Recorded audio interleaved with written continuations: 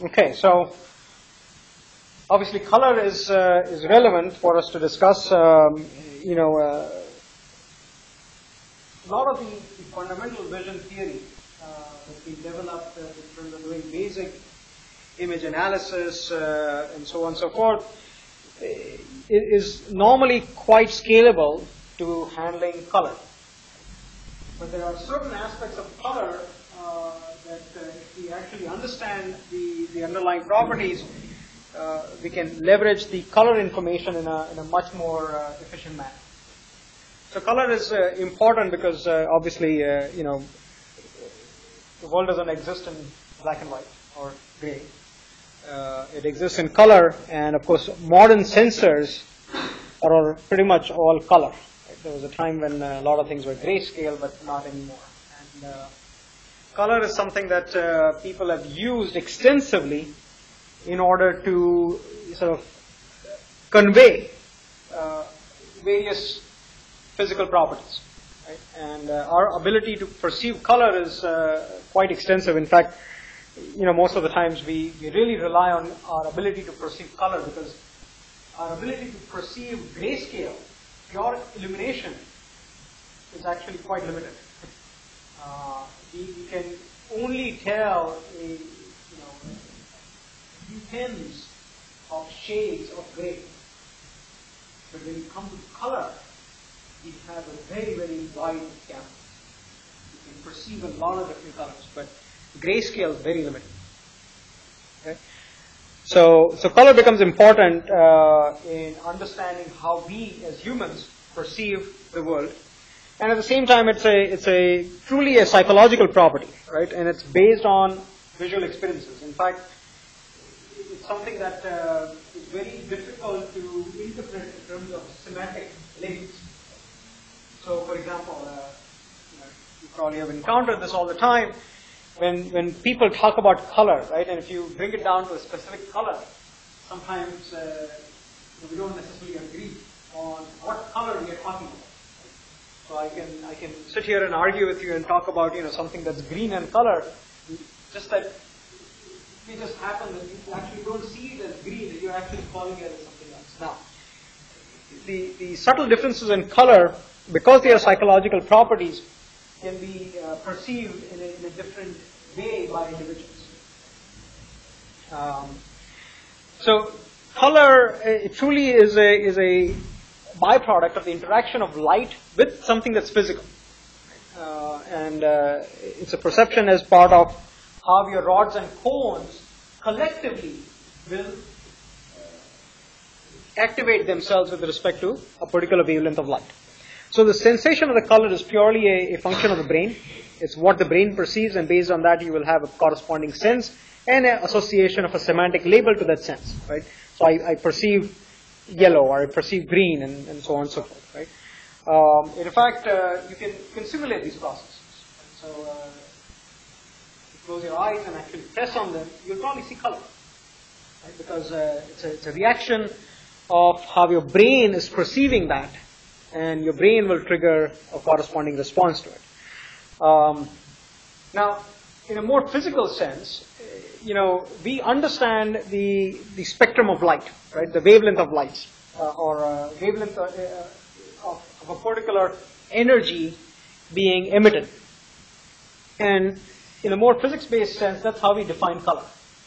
We define color in terms of the actual wavelength of energy that's propagating uh, through space and, and actually interacting with the physical matter. So uh, light in general um, is also differentially reflected. Right? When, when we actually perceive the color of an object, it is now a combination of the wavelength of light being illuminated, that illuminates the particular object, the object's ability to actually take that energy and convert it into reflected energy, but as part of the conversion process, it may also offer a shift in the wavelength. So what we are perceiving is actually a combination of a particular wavelength of light interacting with a physical matter and the resultant of that. So uh, what we perceive is, is relatively complex. Um, now keep in mind that uh, different material will react with specific wavelengths of light in a very different way. Um, and uh, it may, may actually result in, in, different phenomena that typically we describe uh, in different imaging processes. For example, fluorescence. Right? Fluorescence is something um, where a particular wavelength of light excites an object, but because of that interaction, the object will then emit light in a very different wavelength. And the shift in that wavelength uh, could be both either in the visible range or a invisible range, right? And generally, a higher shift is typically what we associate with uh, fluorescence phenomena. So, broadly, we understand the EM spectrum. Right? So, uh, basically, uh, there's different wavelengths of light, energy being uh, propagated. And for us, in terms of perception, human perception, our sensitivity is typically within the range of 400 to 700 nanometers. Um, beyond these wavelengths, we don't really sense a whole lot. We, we don't gather much energy. Right? And in fact, uh, we see a dominant amount of energy uh, here. It's just how human visual systems evolved over time, and also because of the fact that if you look at the, the EM uh, energy emitted by sun, the dominant light source for us at least, is because it's, it's mostly within that range. You do have other bursts of energy coming through, but it's, it's fairly small. Now, if we are to look at color as a property, then we have to go back and say, well, what is then our interpretation of radiometry, right? You looked at radiosity in terms of illumination. Right? We, we have so far discussed about radiosity only in terms of pure illumination. But now, if we have to address color, we are saying that it's actually the illumination is an integral over multiple wavelengths. So how do I break that term up and define radiometry with respect to a specific color? So what that means is almost all the terms we have looked at so far, we have to now define them in terms of per unit wavelength. So we talk about now, rather than just radiosity, spectral radiosity. Right? Uh, radiance becomes spectral radiance, in which case we would basically look at watts per square meter per subtended angle per unit wavelength. Okay? Now, in general, almost every object, physical object, will have a particular property to absorb or transmit light. When we look at reflected imaging, right, so typical imaging uh, you have a luminance source, we have a camera that is actually taking in light that's reflected from the object surfaces. Over there, we truly care about what is the reflectance property of objects. And the reflectance property of objects will vary according to wavelength. So for example, let's say, you know, you're looking at some object, you have a source of light coming in, and if I were to say, well, what is now my spectral radiance? Not just radiance, because so far we only talked about radiance of the object. But now we are talking about what is the spectral radiance of the object.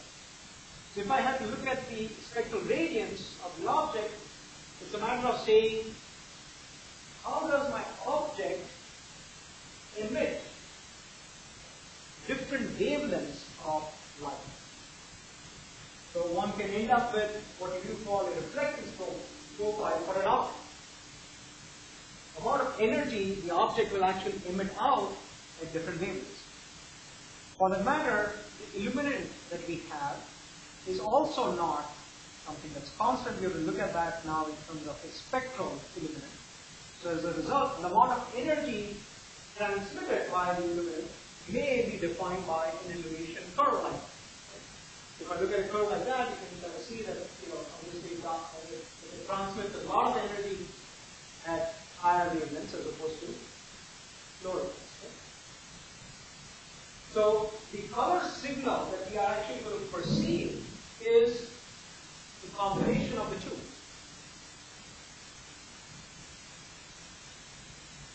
And you can come back to what you've seen so far in terms of pure energy being measured off of the surface of an object as being now an integral over this curve. But if I have to break that up into a per unit measure, then this is what you would end up with, saying that you know at 500 nanometers, this is the amount of energy that I'm going to sense.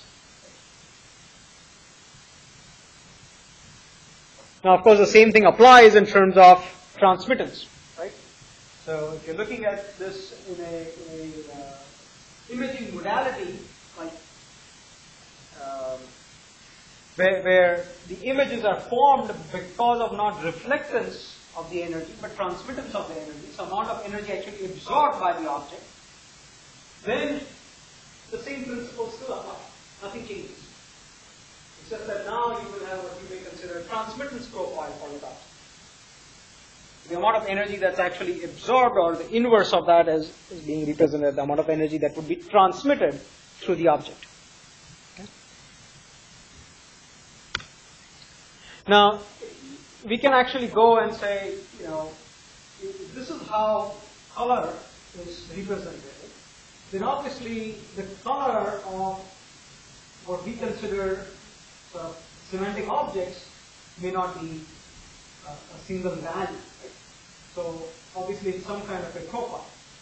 It's a, it's a curve over the Galen space. So what is the color, let's say, of sky?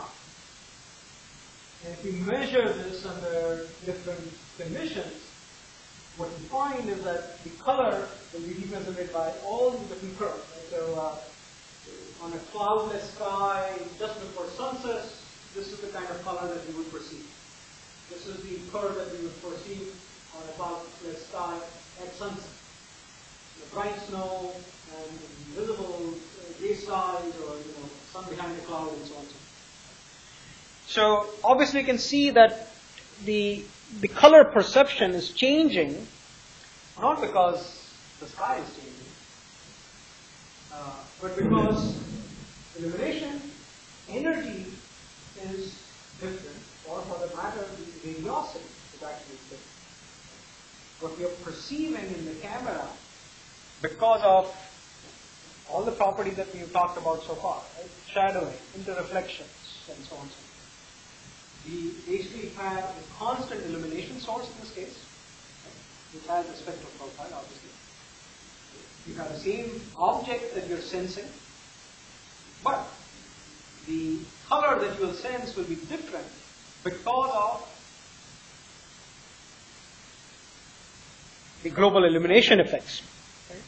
Different objects interacting in different ways, the different amount of light getting absorbed, uh, and so on and so forth. Now, we can do the same thing in terms of illuminance, right? Different sources of light. So, for example, I may have a particular illuminant which may have a light profile or a spectral profile that looks like that, a red color. But I may take another illuminant and it may have a completely different profile. So now one can go back and say that, well, why do I sense different colors? It may be because the object is exactly the same, but the illuminant is changing. Because remember, the, the color that we are sensing is the illuminant multiplied by the property of how the object will react to light. So some reflectance property, let's say, of the object. So if the object is the same, nothing else is changing, just the illuminant is changing, obviously we're going to see a change in color. So this can become quite problematic, right? Because for most imaging conditions, neither do we have a good idea on what my color of the illuminant is, neither do I know the property or the reflectance property of the object. So what do I do with color information that I pick up? How do I trace it back So one thing that we've talked about in the past is albedo, right? Albedo is a property of the object. So now, in terms of color, we can talk about spectral albedos. Right? What is the spectral albedo of an object? And again, we can now start generating albedo curves for different objects. So these are for different leaves, for example. Different leaves that are different plants and so on and so forth. And each one has a spectral albedo. Now, if I know the spectral albedo of something, then now I have an ability to establish some relationship between different illuminants and what I sense.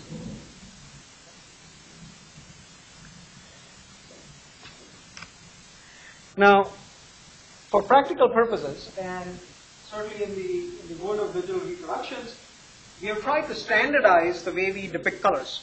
Right? Uh, and most of these, you can think of them as cartoon spectra that we have designed. Right? So if you go and say, you know, what is red, green, and blue? Right? Most of the times when you work with digital data, uh, images, for example, they will have uh, values and intensity values represented as red, green, and blue values. Now, what are those? in reality, we have kind of designed these to be cartoon values the everything between 400 and 500 will call blue, 500 and 600 is green, and 600 and 700 is red. Uh, on the other hand, you also have, mostly in print reproductions, you use uh, rather an edited model, a subtractive model, giving colors such as cyan, magenta, and yellow, which are these particular corresponding blocks. So magenta would be a combination of blue and red in this particular case. So the RGB model that we typically use is what is known as an additive color mixing model. Which means that we've defined these as independent models, but you actually can add the two spectra to realize a new color. So for example, red and green mixed together gives you yellow, where yellow is now this particular way, 500 to 700. And these are what we typically use for you know, monitors and, and to, in order to generate colors and so on and so forth. All additive mixing. For print production, on the other hand, we use more subtractive models or multiplicative mixing. Okay? So where you basically are looking at, let's say, a combination of cyan and yellow, which gives you green. Uh, if, you, if you do that, basically you're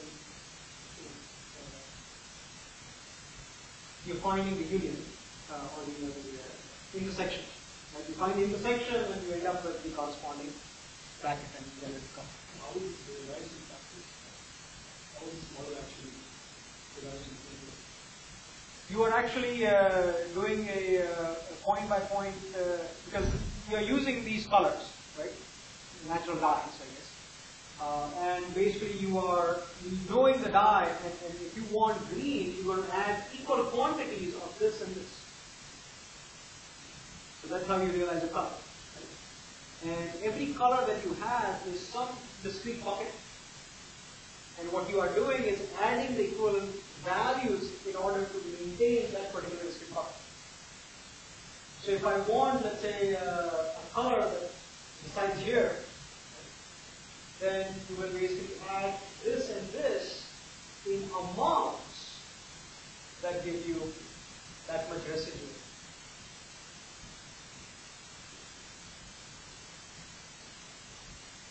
Now, keep in mind, and it's one of the reasons, the question is how do I get the residuals, how do I negate the rest? That's why in uh, printers, you actually don't just rely on cyan, magenta, and yellow, you actually have black. Black is what you actually use in order to suppress the residue. You just take the fact that you're still adding cyan there. Yes. Yes. Oh, yes. Yes. Yeah. So now, uh, of course, you know this is fine uh, in terms of qualitative. Right? Uh, for us, uh, that doesn't work. I mean, we, we are going to use these things somehow to compute, quantify what we are perceiving in an image. Right? So uh, we want quantitative information coming out. So how do we specify the color in terms of numerical values? Um, because keep in mind, I mean, numerical values are important. Uh, a lot of times we'll, we'll, go and specify colors and say, well, this is exactly what I want, right? So if my ability to sense something is not quite there, uh, then uh, how do I uh, use color in terms of descriptions? And uh, also, you know, colors are uh, semantic labels will change not only from person to person, but even culturally, certain semantic labels change. You know, uh, across cultures in general, maybe you know the common set that you'll find is probably tens, maybe 20 colors at best. Everything outside of that, you know, everyone calls something different. Uh, even even uh, in the U.S., I mean, you know, uh, it's, quite amazing uh, what I perceive to be, uh, you know, just a, another color, you know, has a variety of names. Orange, it's orange, but you know, there's peach and there's whatnot associated with that particular color and different shades of it. And, and uh, all these, how do we quantify? Right? So there are perception, me- perceptual mechanisms in order to quantify this, right? And, and uh, most of the time we do this based on what is known as color matching. So the idea is relatively simple, right? I have basically some particular light source that's going to emit a color. And then I can quantify because I can measure the spectrum. Right? I can describe that light in color in terms of spectrum. On the other hand, I can say, well, I want to generate an additive model. So I will go out and create three lights, right, or element sources that I describe as red, green, blue. The spectral profiles of which are defined. So what I call red, what I call green, or what I call blue is preset. And yeah, I mean, ideally I would prefer them to be this nice little uh, ideal brackets, but uh, maybe they're not ideal. It doesn't matter what they are. But it's something that we have standardized and we will call them as red, green, blue. Now the question is, if I want to describe a particular color, how do I do it? Right? I can try to tweak the percentages of red, green, and blue that I add together in order to reproduce that particular color. And that's exactly what we do in color matching experiments, right? So uh, you can have a person sitting in front of a screen, and generate a bipartite field. You say, you know, this is my test illumination. The surrounding field is going to be something that's neutral. Now, the primary lights have to be used in order to modulate the amount of energy in order to reproduce that color. Once you do it, you have a sense of what is the amounts that are mixed together for the three primaries. So we do that, we do a color matching experiment. I'll say, well, you know, this is on the left is my color. Uh, on the right, I have three primaries that I want to mix together, right? So I will change the amounts in which I mix them together and so on and so forth. And I say, ah, okay, that's what I get, right? So this is the amount of P1, P2, and P3 that I have to add together in order to reproduce the color. Great, I can keep doing this, okay? And for different colors, I can end up with different things. You may end up also in situations where, you know, of course, uh, not all additive relationships may give you the particular color. So if that happens, then you have to come back to this side and say, well, maybe I to add a primary over here in order to change this color in order to get the appropriate match. In which case, the addition here is nothing but a subtraction on the other side. So we can do this. Now, these uh, experiments on humans work uh, reasonably well. I mean, most people will be able to figure out a primary set in order to match the color that they are seeing. Now, for most people, it's always going to be one set. Very few people may end up with two sets of primaries in order to generate the same color. Okay? So the reality is that you know I can generate a particular color not by a unique combination of P1, P2, and P3, but there might be more than one combination of P1 and P2 and P3 that realize the same color. But most people don't don't end up with that. Okay, so for most people, making this kind of a match makes a lot of sense. It's, it's knowing how much to add to get a particular color.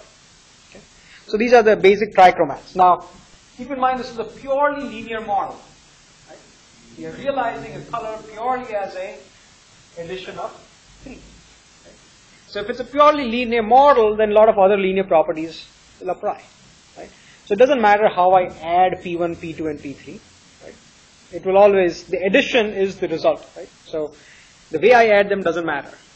Furthermore, if I want to scale things, right, I apply the scale to my equal scale to all my primaries and an equal scale to my light source, right, matching source, then everything should match.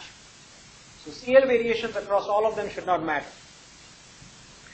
And then so on and so forth. These are all basic Grassmann laws or linear laws that apply.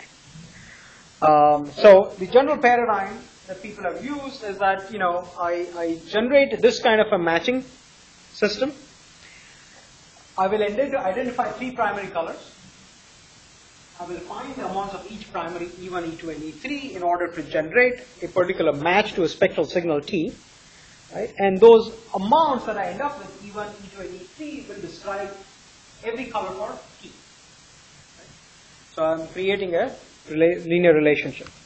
Now the question is, how, how, do we, of course, present this and do this mathematically? Uh, so, well, of course, we have to design some set of experiments and people have done that, and based on those set of experiments, we can generate these curves. So I define a specific set of primaries. These are the primaries that I have. These are specific wavelengths that I use, 645.2 for P1, 525.3 for P2, and so on and so forth. And I end up generating these curves in order to match many different keys. So, great. So how does this translate to something that you want to measure? So the relationship that we actually build based on this is this representation. So the curve that we generate is nothing but these terms, right? Discrete values in the matrix that I can represent. Like C1 for lambda 1 to Cn for lambda 2. So I have C1, C2, C3 are these columns now, where for every particular wavelength, I have a corresponding correspondence, uh, uh, corresponding field function. So which means that when I have a particular spectral signal, this is the spectral signals that we actually generated, off of which these curves are defined. So I can always, given this curve, this is the underlying matching color. Now, amount of each color that we, we have for that particular perception system is defined as the integral of C1 and the corresponding T values. That's the color that we are sensing. Okay. Now, how do we translate this color to other primary systems or other color systems? So, of course, this particular set of color primaries are not going to be available to us somewhere else. But our job is to maintain the integral to be the same wherever we go. So how do we translate that? it's relatively easy to do because let's say we end up with a new set of primary, we can measure what the primary is. Right? So now we can generate uh, a particular mixing value for each variable. So I end up with a new primary, we'll call it P prime. For that particular primary, I want to get a color matching function C prime. So the desired color that I have, I can generate an equation over here, I mean, but it's a uh, matching representation that says that given a signal T, right, if my color matching function is C prime as my primaries are P prime, I can actually go back to using my original primaries, which are defined under this relationship, CT? This relationship should remain the same. So the way I ensure that relationship remains the same is basically saying that, well, this is my primary that I'm currently using. So the signal that I'm actually sensing is some C prime of P times the P prime. If I actually multiply that with C, I should go back to my original measurements on the original primaries.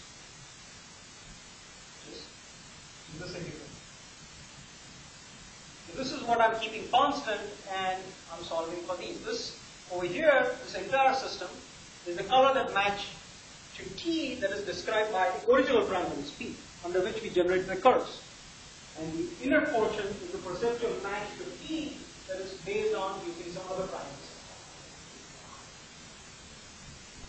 So it, it, turns out this is nice uh, in terms of simple matrix translations, multiplication. So what we really need is not, we don't really care what he is, because that's actually some full spectral set of all colors. So are the same on either side, you can actually get rid of them. And what you end up with is essentially the CP prime, which is nothing but a 3 by 3 matrix comprised of the old primaries and the new primaries for the matching function. So everything that relates to the original color to a new color becomes some kind of a translation, matrix translation, 3 by 3 translation. And the relationship in by 3 by 3 is simply defining the translation from one to the other.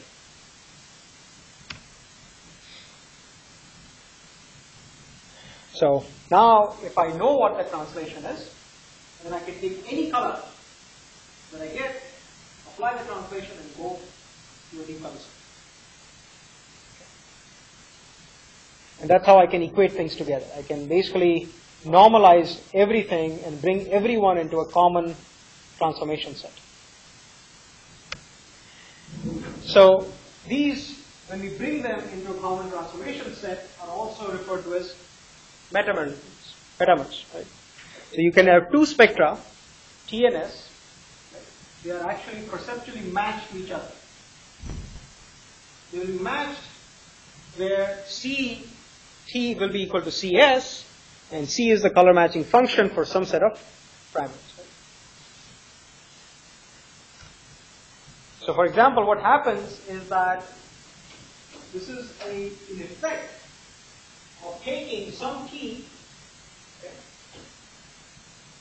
being multiplied by your mixing matrix or your color primary matrix, and you end up actually getting the integral to be the same. So you could have scenarios where you can take very different light sources with very different spectra, but they will be perceived to be exactly the same. So, for example, you know, you can go out and, um, well, I mean, the simplest example of a good metamer is uh, to go out to a, you go out and buy light and uh, you want to, to, go out and buy light source that uh, mimics uh, the illumination of the sun. It's possible to go back and regenerate the exact spectra of what the sun is emitting in terms of energy.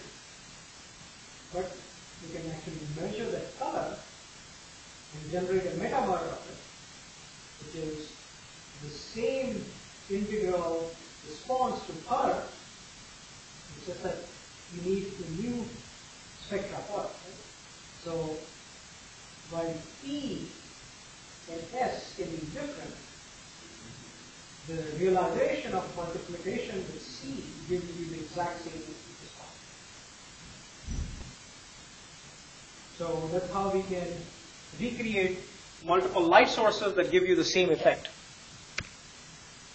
Now, how do how do these things work in the eye, right? Um, of course, the eye doesn't actually uh, do this. The the eye, um, the sensing system, uh, you know, is relatively uh, straightforward in the sense that we have discrete sensors in our eyes, and we have discrete sensors that are receptive to different wavelengths of light. Okay, so if I look at look at what my sensors are in the eye, basically they are made up of rods and cones. Cones are the ones that are actually responsible for color sensing. Rods don't really provide us with color information. They're purely there in order to, to sense the, the integral amount of light that's coming in. Okay? Um, now, in general, cones are concentrated around the fovea, the center of the eye. Um, so your peripheral vision is, is kind of weak in terms of color, right? Almost all the color we sense is, is based on our central vision system. Now, the sensitivity of rods and cones is very different in sense you know, you get sort of more in terms of darker illumination, rods are the ones that, that provide us most of our sensing. Cones are the ones that actually provide us most of the sensing in terms of normal illumination, ambient illumination, daylight conditions, and so on and so forth. Okay? Um, and, and that's one of the reasons why, you know, in general, we can't read in, dark, uh, because uh, the dark, uh, you, know, you are mostly functioning off of your rods. Keep in mind the rod are basically absent in your central foliation, so when, you, you're trying to read something, you just can't see it because uh, the amount of light coming off of that is so little that some of it will be perceived in the peripheral vision, but nothing in your central vision. So it becomes very difficult for us to read in low light conditions. Now, in terms of primaries, our main sensors in the eye, the color sensors, which are cones, they also can be thought of in terms of primaries, three primaries. Right? And in fact, that's what we have, three discrete type of sensors. ALMNS for you know, the long range, uh, medium range, and, and, the short range sensors that we have, uh, which are capable of, capable of sensing sort of in the blue range, the green range, and the red range. So, you know, the nice, they're not these uh, nice uh, cartoon spectra, they're continuous spectra. Right? They overlap. And in general, the ratio of these sensors that we have is such that, you know, you have a lot of sensors that are sort of in the, the uh, long range, so red sensing, uh, a fair amount in the green sensing, and of course in the blue sensing we have very, very few. In fact, in the main center of the fovea, we almost have no sensors that pick up blue light. We, we predominantly operate in terms of red and green sensing. Okay? So if I were to look at a cone mosaic, right, a distribution of sensors in the cone, cones and distribution of cones in the fovea, this is kind of what it would look like. You see that the center is mostly all red and the green sensors, no blue. As you go away from the center, you start seeing more and blue, more blue sensing cones. So for us, the color perception that we get is actually the integral response of all these cones. And in general, it will be some power response coming from all the cones. So it will be some curve over all the wavelengths of light coming in. And this continuous curve will define the kind of color response that your brain provides. So rods and cones, they, they kind of act like filters. And in order to get the response of the filter, we're going to multiply essentially the response curve of each sensor with respect to the spectrum of light that's incoming. When I say multiply, it's actually not multiply, it's convolution that's convolved. Now, the question is, does each cone yield one number? Right? Well, we can think of it as one number because it's actually an integral response, right? The, the perception of color for the brain is, is instantaneous. So uh, we perceive it at an instance as a result. It's, an integral measure over what you may call unit time. So that, in, in, from that perspective, is one number coming off of. Of course, uh, reality, that number is changing with the, let's say, whatever the unit time is for the firing of the neuron.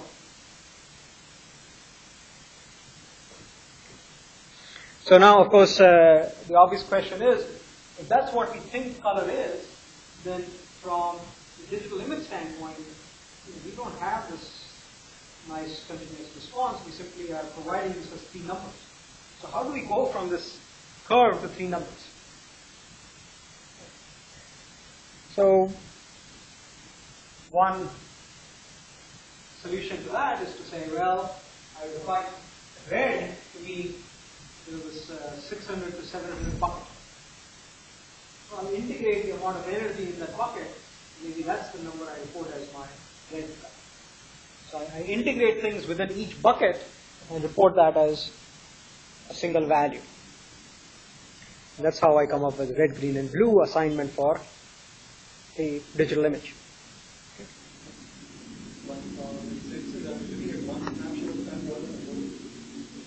So, yes, very good. So, how do we get a single number as opposed to something that's changing, right? But from a digital representation, you know, remember what we have done is already generated this profile is an integral of exposure time. So the reality is we, we actually don't know an instantaneous value, we only know it over unit time, and the unit time is our exposure value, right, for a sensor. So that's what we measure in terms of an integral amount, RG. So if we, we have a camera sensor, we can fit it, we have to fit them on the signal, we can for the time period for the exposure and then get area of the. So that's how we assign uh, these three discrete values. Well, uh, apart from the fact that you're still going through a spectral response function. So if you remember when we talked about the camera, we talked about a response function. Right? Now, you convert the response function to also a spectral response function as opposed to just a response function. It's, it's a, it's a, it acts as a modulator of uh, the actual spectral energy that you have in each pocket being converted to what the sensor can actually measure. So it's going to be some modulating function that says that if I get this amount of energy, what is it going to actually map to in terms of measurable intensity?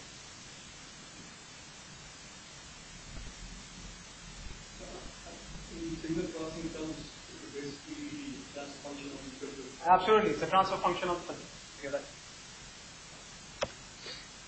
So, that's the kind of how we get a value for red. Right? We know this is the uh, spectral response function or the transfer function. Going to integrate over that and say, well, that's the amount of energy I can report as one value. Okay? And then you do it for green, you do it for blue. So what you also see over here is the fact that there's actually, these three values are not independent. There's an overlap between all these three values. As a result, they're actually not independent values. They're correlated in some way. But that creates an interesting challenge because generally when you process color images, you just say, well, you know, I have three channels, I'll process them separately and call it. And, and you never worry about the fact that maybe they're correlated. Okay, so, all right. Well, people have done very interesting studies on, on the human vision system. And if you look, uh, this is a, an actual picture, micrograph of what the cones look like, sort of in the center of the eye. You find that they are very nicely packed, very uniform distribution, same size, and so on. Now, as you go more toward the periphery, you start seeing that, you know, the size of the cones actually grow, but they also become sparse. And between those spaces is your rods. So, and of course, uh, one of the things you should notice here is that the approximate shape of the sensors is hexagonal. So, uh, as an interesting aside, there is actually um, interesting research just an image processing, right? Uh, and also in terms of sensor design, to go back and say, you know, well, do we really have to design sensors which have rectangular height?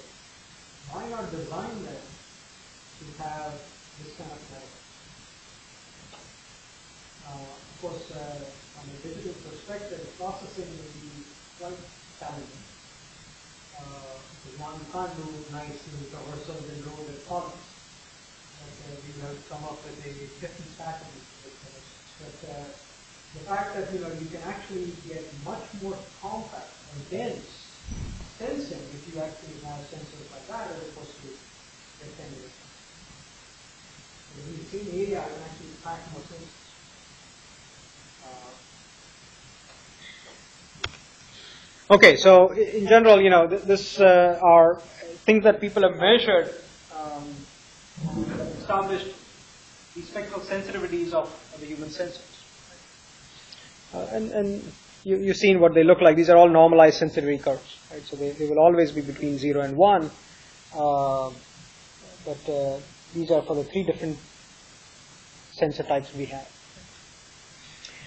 Okay, now, since we know that we can define color, right, using almost any set of primary colors, right, uh, we obviously would like to agree on some set that universally we can all use and say, well, this is a set everyone will measure up to.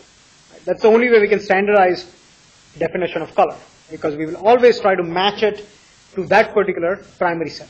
Right? No matter where you collect your image, you will always convert it back into that primary set. So what is the primary set? So, you know, the, the one that typically uh, people use uh, and the one that we actually started out with is the XYZ color space. Okay, and this was designed uh, back in 1931. Um, and and it, it, all it did was provide a physical realization of these primary sets. Okay? And what that means is that it was purely an additive realization. If you actually derived it based on physical realization of primaries, you know, the reality is we can only add things. We cannot subtract things, right, in order to generate color, light. So it was purely additive, okay? And as a result, this is what the XYZ standard looked like. These were the three set of primaries, X, Y, and Z, that were used. And you can see that uh, they kind of not that nice in the sense that X is a primary that has two big peaks, okay? And then you have Y and Z. And, and obviously they overlap. It doesn't really matter. It was just a set of some primaries that one had to come up with. Now, in order to convert all of this into some kind of a, a uh, color matching function space, it, you know, people simply generated, you know, normalization. So they took x and y and divided it by the sum of the three. So you ended up with going from a 3D space to a 2D space. And the 2D space basically looked like this. So what you have is, uh, you know, you start with some xy value that gives you the value for x, I mean red. On one end, you know, green, and then coming down to blue. Now, in, in general, the intersection of sort of the centroids on the, of this particular space was where light would reside, because that would have equal amounts of uh, red, green, and blue. And saturation was increasing uh, in specific radial orientation. So, if you actually look at the color composition within the space, this is what the space looks like. So white in the center, you have red, green, blue, then shades of each of these colors. this. So this is the CIE XYZ color space. Okay. Now, in general, the the uh, people could also map a variety of light sources into this color space. Right? So where is sunlight? Where is uh, normal uh, chemical light source? Daylight illumination, and so on and so forth. Basically, all of those typically fall on a curve that goes sort of from red to white towards blue. Most of the light sources that we, we see, artificial light sources, are going to be dominated mostly in the longer range wavelengths. So, for example, what you perceive here right now, white, you know, this is uh, actually uh, is emitting a lot of, you know, long range wavelengths. Sun, for that example, I mean, sun emits a lot of IR, a lot of red light coming through. You don't necessarily see it like that, but you know, a lot of red light coming through. Now, one of the problems with this particular color space was that our, our ability to match color, especially in quantitative manner, requires that we establish some kind of a distance relationship. So how do I know how far a particular color is from some other color? Typically we say, you know, uh, if I have an xy space, you would prefer to say, well, you know, x1 minus x2, y1 minus y2, or you know, some kind of a squared Euclidean measure, right? x1 minus x2 squared plus y1 minus y2 squared, the root of that. That's how far I am. Yeah? Great. So obviously that's what people want to do. So if I go and look at this particular space, unfortunately, the separation in colors is not uniform across the space.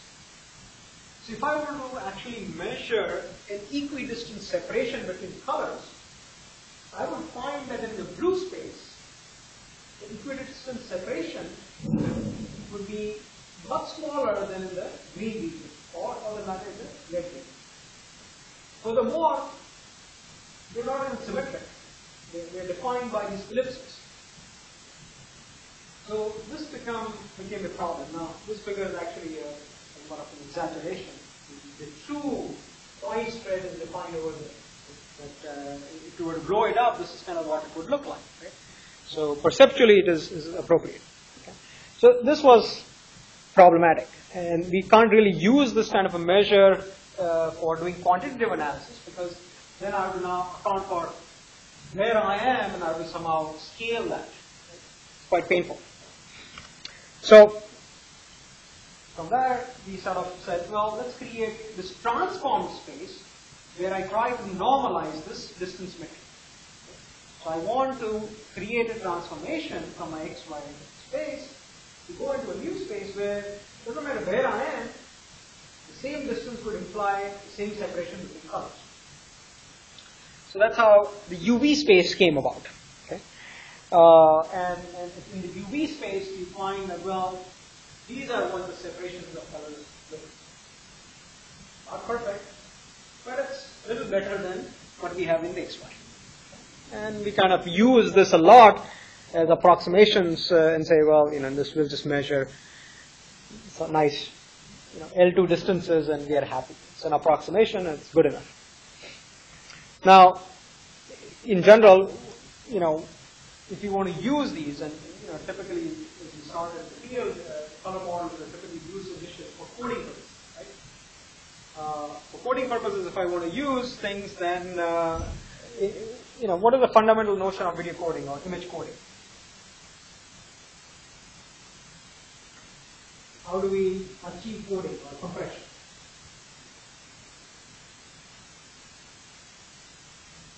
Most models are predictive models. Furthermore, most compression models are linear predictive models. Which basically say that, you know, I have a model that says that the previous plus some value gives me the next. So rather than sending the previous value, I will simply send you the error value or the difference value. You take what you have decoded from the previous step, add the new value, and I get a new prediction. That's my recovered image. So if you want to do that, and say, you know, obviously for that you would prefer that these distances are the same everywhere. But you don't want to say that, you know, well, because of this color, I have a completely different NJ value for green versus red versus blue. Addition is addition. Simply want to add everything. So for video coding, again, this would be useful to e equalize things, normalize things. Now, in general, color appearance itself is uh, going to be affected by multiple factors, right? We actually get affected by nearby color. Uh, adaptation is a process that we get affected by, and of course the state of mind, right? Where we are and what we are thinking at that any given time. So here's a great example, right? If I if you look at an image like this, right? I don't know if you can perceive that, but you know, for me, the, yellow in the red region is much brighter than the yellow in the green. So our ability to sense this is based on surrounding colors. Right? So surrounding colors affect our ability to perceive what true color is. Of course, in reality, right, I mean, it's the same. There's no difference. But the perception doesn't agree there. Now, even for adaptation purpose, right, I mean, keep in mind our, our ability to perceive color is an integral measure of some unit time. But, you know, keep in mind we integrate only at, at certain time intervals. It's not something that we continuously do. So if you actually look at this for a long time, right, you have now a stable firing sequence that says, you know, this is the amount of energy that I'm integrating for my spectral response. And that's what we are seeing. And then all of a sudden you switch, right? You, you, you see that the original intensity doesn't die out immediately. So look at the red, for example. Okay, when I'm switching, of course, I'm not changing the amount of energy for red. But what should, you should be seeing is that all of a sudden there should be decreasing intensity, right? So think of it as, as a residual carryover. Before you adapt to this, you are now saying that you know integrating something which is all. I'm fixated on that. And then all of a sudden you're changing, but now you have to integrate multiple things.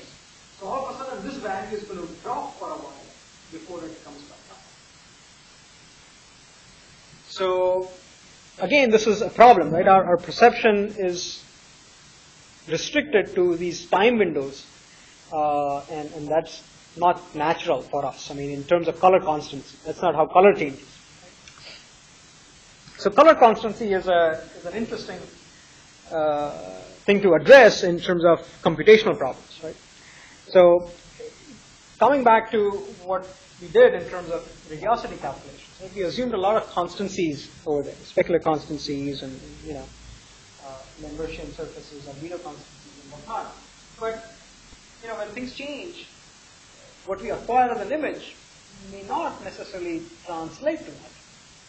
Because all of these are integral measures, and, and so as a result, we have now say, you know, well, how do I deal with color constancy in, in uh, my perception or, or computational scenarios? All right. So obviously, anything that we realize in terms of uh, surface reconstruction and so on and so forth, we want to understand my illuminant description, right? My profile for the illuminant. I need to understand my spectral profile for the object itself in terms of its spectral albedo, maybe, or there may be the spectral radiosity. Okay? And then, of course, uh, in general, I want to perceive multiple kinds of. What color is the object? Uh, what is the color of light? So I want to be able to decompose the scene to actually get these measures back. So color constancy uh, is, is, something that we can actually study, right? So let's say that uh, you have the same scene illuminated by two different lights. Let's say this is white light, maybe this is green. So of course uh, you have something that you're sensing, right? And I can I can look at sort of regions on this image uh, and different regions on the image and say what are the underlying colors. Right? So we can perceive some colors, and of course uh, the idea is that uh, objects that have some underlying color should maintain a constancy of that color independent of the illuminant. So how do we actually account for that? Um, now, if I were to look at the actual sensed color in my so-called normalized color space, right? In this case, my CIE XYZ space or XY space, I would find that if I have uniform reflectance coming off of some object, but my light source is changing, the color that I perceive under different light sources will actually move around in that space. Okay? Now, if I actually look at a different object under the same light sources, then I would find, of course, the perceived color is different because I'm looking at a different native color of the object, but the way the different lights actually get perceived, the variance of that is not that different. Right? So each light source, common light source, will shift the color in a consistent manner. So if I look at an object under green light, or if I look at the same object under white light, yes, my perceived color is different. But there is a proportional shift in my perception because the underlying object color is the same.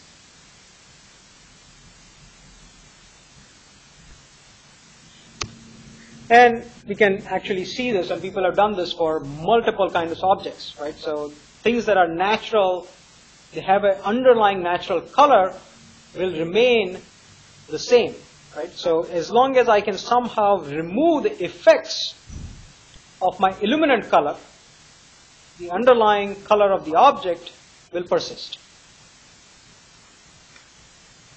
Make sense? Okay. Now,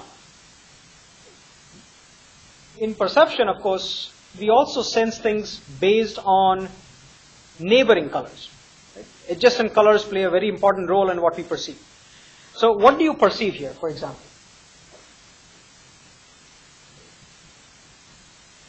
So, for me, you know, I see dark blue, light blue, kind of red, grayish. What do you guys see?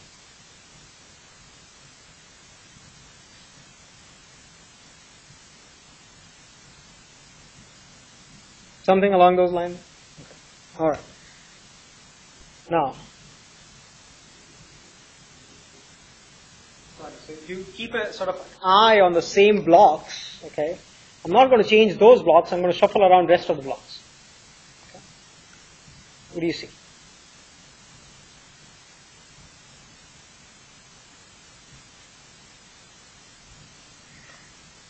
For me at least, I see all of them to be kind of grayish. Don't see them now, you know, blue and red and so on.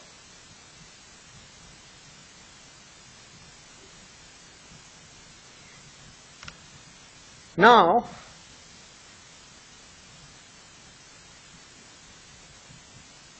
if I actually arrange corresponding colors next to them, I, I kind of start seeing them to be more related to the color next to me.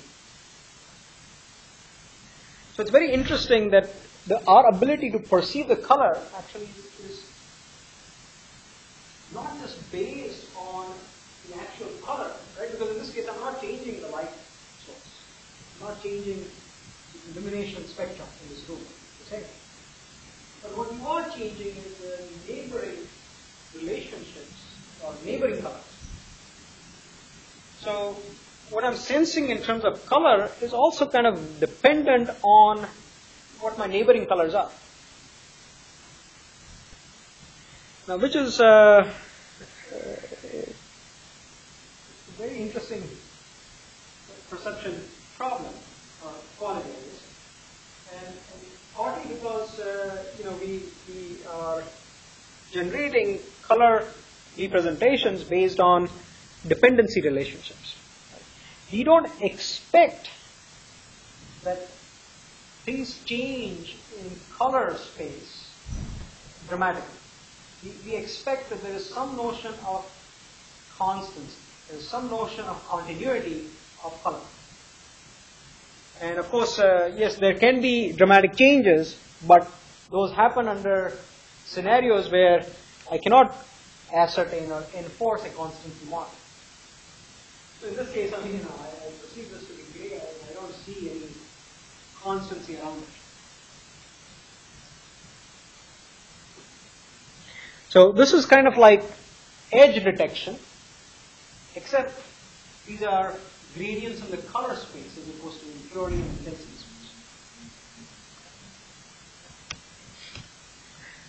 Now, what are the users and color actually in, in, computer vision. Right? So how do we use them in, in our processing and, and computational properties?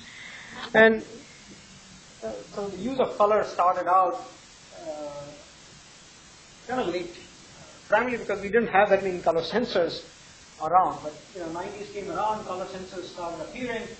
We started thinking of how to use color. Right? And, and the first use of color was relatively simple the that, well, now I'm getting RGB values out of my sensor.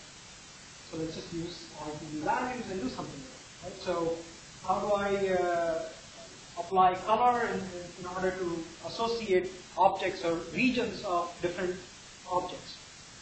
So I look at RGB values, I can construct a histogram of RGB values, and anything else having a similar histogram of RGB values, well, maybe they are the same right well, integrally they look like their appearance is same, so they must be the same. So that was kind of the first use of color histograms in trying to index and retrieve objects that were similar to each other. Great, so we, and this was all based on RGB histograms, right? Later, people actually said, well, you know, this is interesting. We can use these kind of models to design representations for physical structures. For example, skin. You know, skin should have a unique color representation. People tried doing that and applied it for segmentation and things like that. And, well, it was okay. Uh, doesn't work very well, but uh,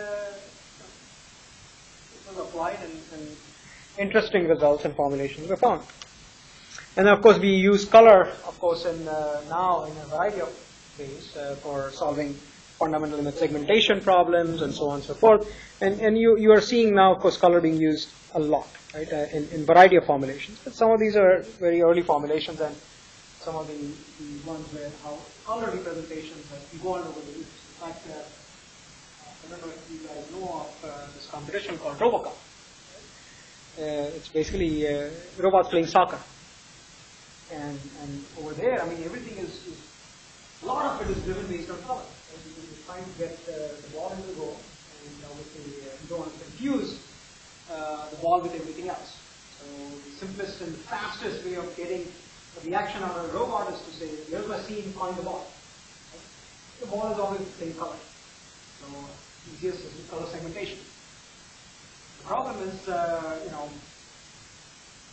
the fundamental problem over here has been color is the perception of that color will change depending on what shadows fall on depending on how the illumination environment is, and so on and so forth. Right?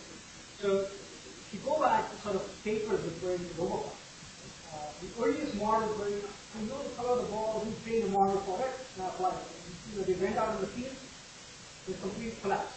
Right? Because uh, they trained on what would be images of this, but you know, you go into a corner somewhere, or, or the you know, other robots are surrounding the ball, I don't see the color in it. So there's a big change in color. In fact, um, three years back, there was a more, more recent paper on, on trying to build color models where people said that, well, it's impossible to build a color model that seems to stay constant under all the different illumination parameters. And unfortunately, I don't have time to RoboCup to go and solve for a wonderful, you know, uh, albedo model, right? Ideally, that's what I would like, for the albedo. But I can't. I don't have time get the nurse for all those wonderful applications. So, people have gone out and created what they call ensemble color models. So, say, you know, I can't find a single transformation that gives me the same color representation and the different illuminations. So, go and create representations under all possible luminance, and I create an ensemble representation. Anytime I go into that ensemble, we get. And well, they said, okay, they could do a little better.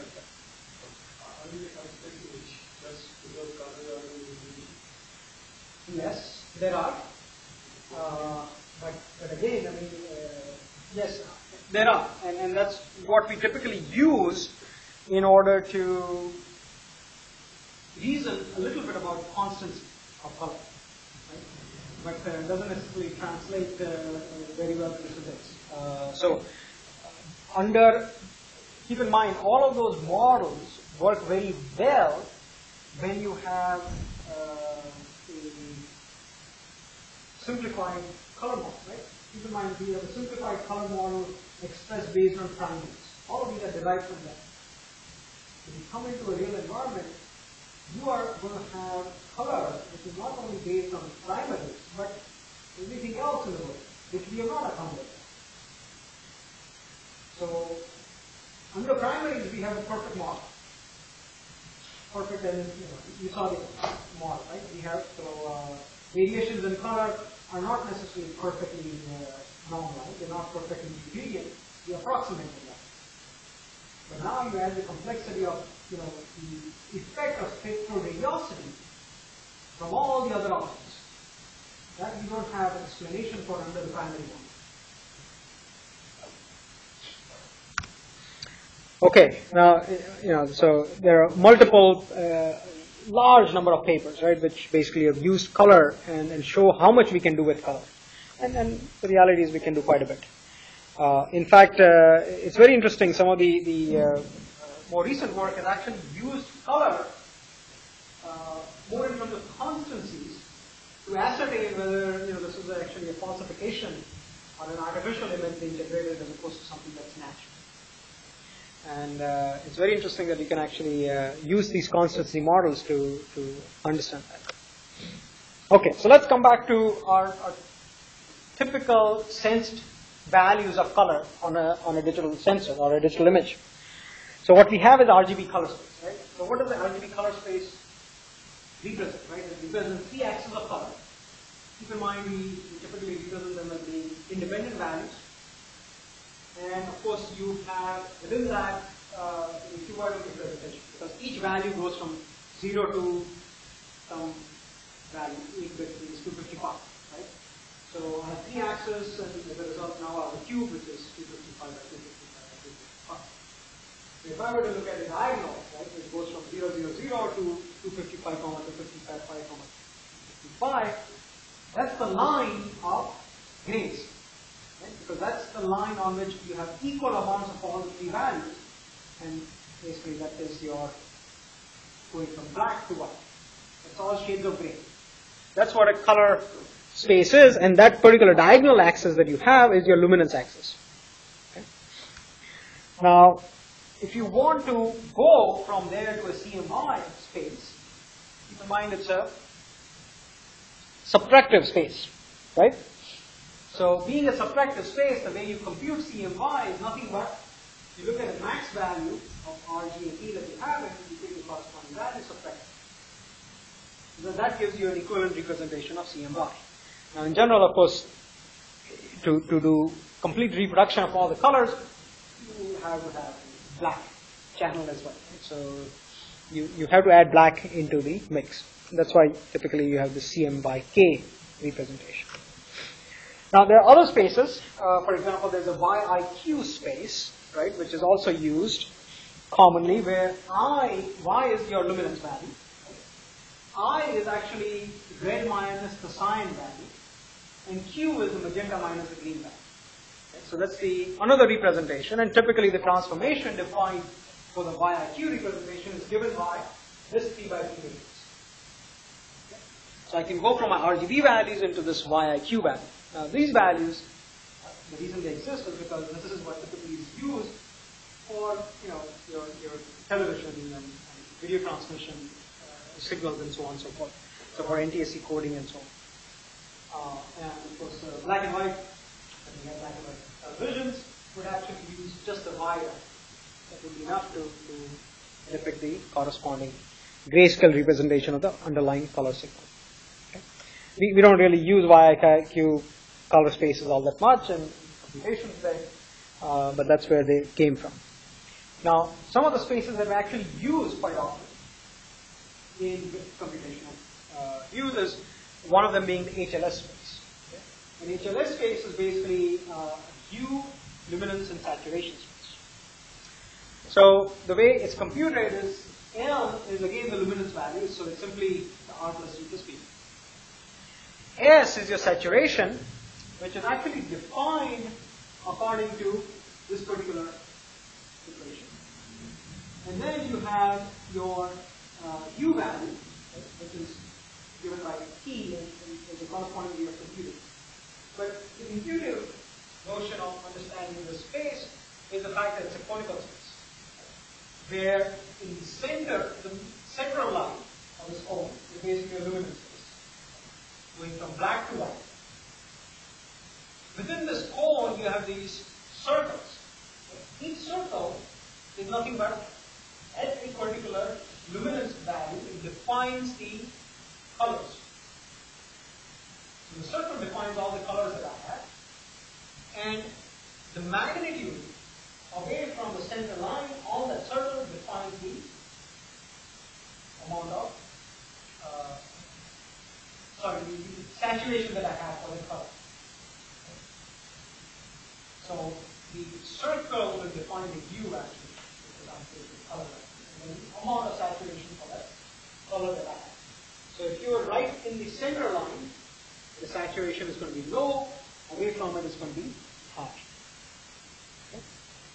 And that's what actually gives us a color representation. So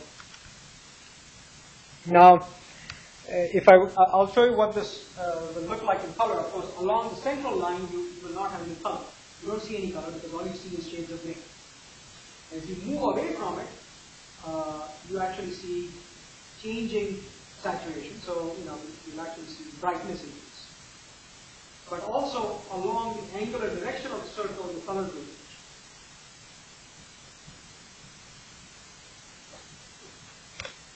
Now, of course, how do we use these color values for processing purposes, right?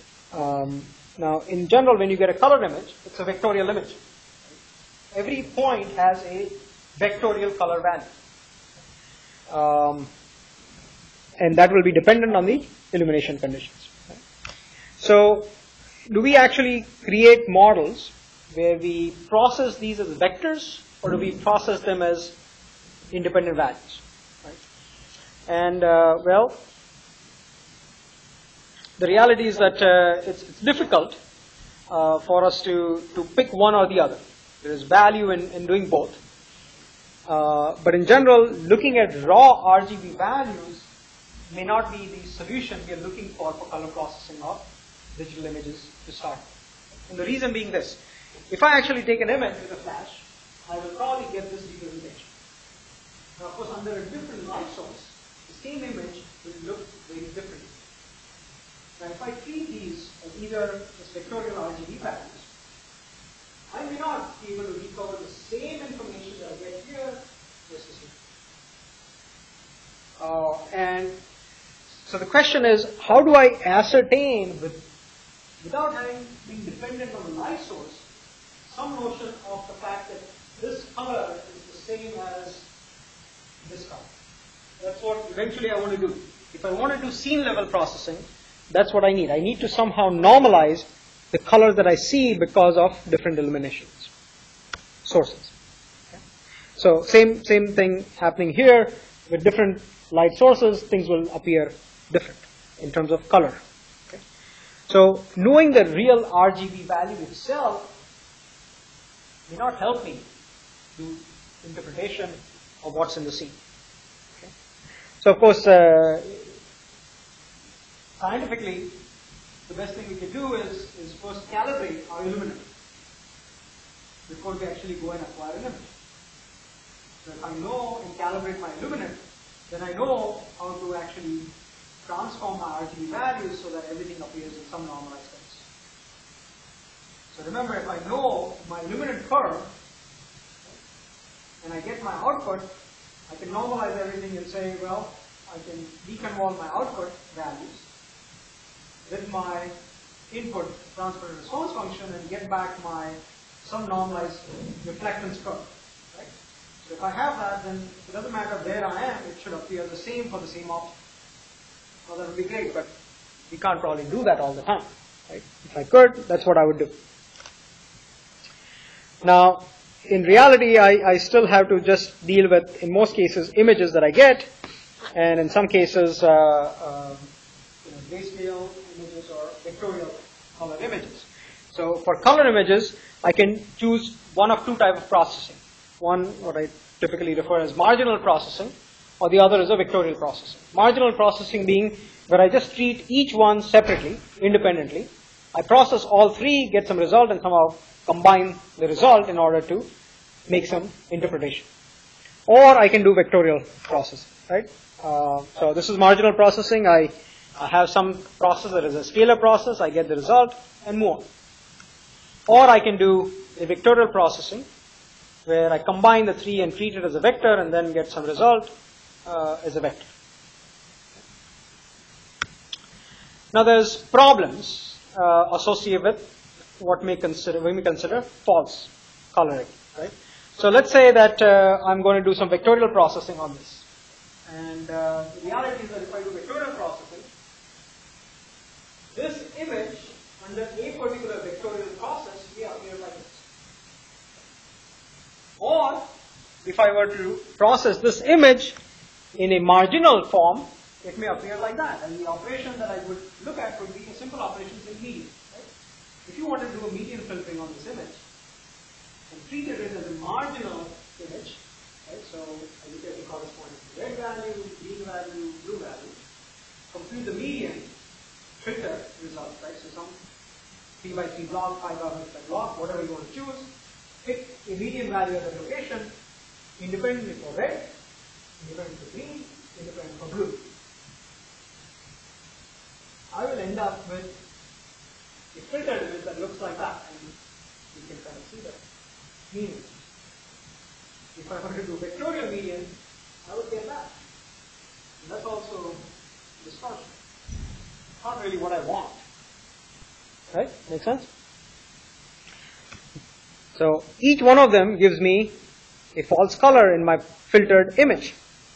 And this is a very simple operation. So the question becomes, what do I do, right? If I, if I do either marginal or vectorial processing, I may not get the right answer. So this is the actual example calculation. So if you have RGB values at a given location, and I simply look at the marginal median, this is what I get, right? So I compute the median of R separately, the median of green separately, and median of blue separately. So I get this value. If I do vectorial median, I just pick the middle value and I get 0, 100, 0. So obviously the results are not the same. They are different.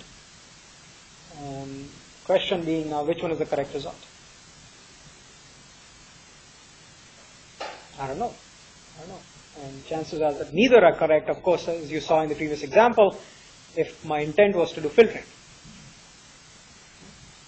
So there are some problems, and as a result, RGB processing in its native form is probably not the appropriate way for us to process images. And we have to look at alternate color spaces. Okay? And the idea of looking at alternate color spaces would be fact that you want to decorrelate the color channels. If you truly want to do marginal processing, you should do it based on the fact that they're independent. That way the marginalization makes sense. So I should generate a color space which is truly independent. We know the fact that RGBs that we get are not independent from each other. So maybe that's what I want to do. We look at principal components of RGB. I want to bring information uh, which actually makes sense in terms of perception models. Right? So look at hue, saturation, and brightness values and design color spaces based on that. And of course, I want to ensure perceptual uniformity. Right? So when I actually look at these color spaces, I want to make sure that if I compare things, you know, they compare uniformly across the entire space of colors. And I don't want to worry about where I am in order to compare things. All right. So we will look at some interesting color models and compare them to see which might be appropriate for us to use in, in terms of digital processing. We'll look at that next time. Okay? All right, any questions on uh, any of this uh, that we've looked at today? Talked about.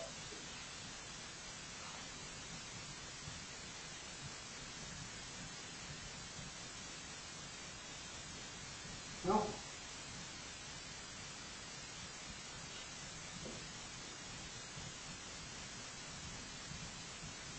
Okay, very good. Well, um, so in that case, we can stop here for the day. Uh,